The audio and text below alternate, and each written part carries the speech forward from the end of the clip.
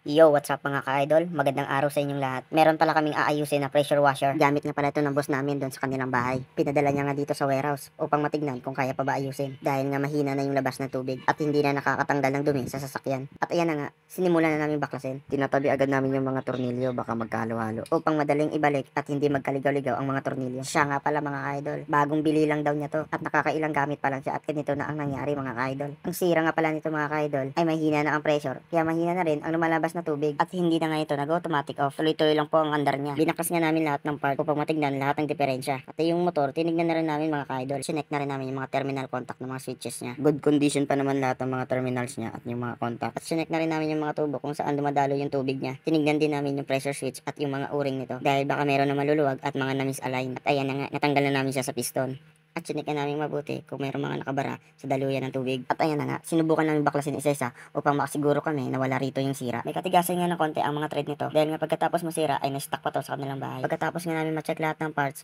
ay nakita namin na ang may diferensya ay ang piston niya. May mga maluluwang na tornilyo na nagpapabagal mag-pump ng tubig. Ito ang dahilan kung bakit mahina ang pressure. Kung kaya mahina rin yung lumalabas na tubig. Agad nga namin hinigpitan ng mga tornilyo at pinalitan na rin namin ang lumang langis nito at binubuo na nga namin ang lahat ng parts. Dahil sigurado na kami na ang piston lang ang nagkaroon ng problema at binalik na nga namin yung mga tornilyo na aming tinabi at hinigpitan namin nito ng daan-daan upang hindi masira ang mga thread. Kinabit na rin namin ang mga electrical wirings dito at yung mga switches. Sinigurado nga namin na mahigpit ito upang hindi pasukin ng tubig at malapit na nga natin siya mabuo. At importante na walang wire na may maipit o may masugatan. Dahil pag ito ay nabasa, siguradong mangingisay ka. At yan na nga mga ka-idol, medyo patapos na tayo rito. Maya-maya lang ay pwede na natin i-testing to. At yan na nga mga ka-idol, hinigpitan na lang yung mga tornilyo. At tara mga ka-idol, punta na tayo sa gripo upang matestingan natin itong ating bagong ayos na pressure washer.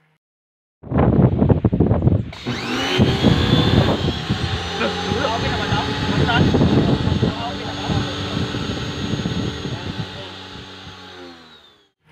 nga po, at kung inyong mapapansin, grabe yung lakas ng tubig na lumalabas.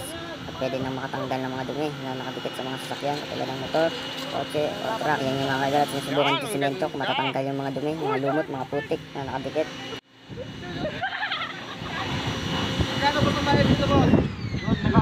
Oo, automatic.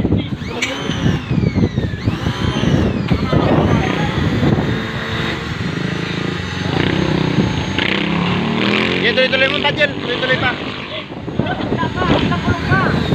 Tirahin mo na yan, yung motor ng ilo. Ayep! Ikutin mo yung... Hindi makikita kasi. Hindi pag-pintig.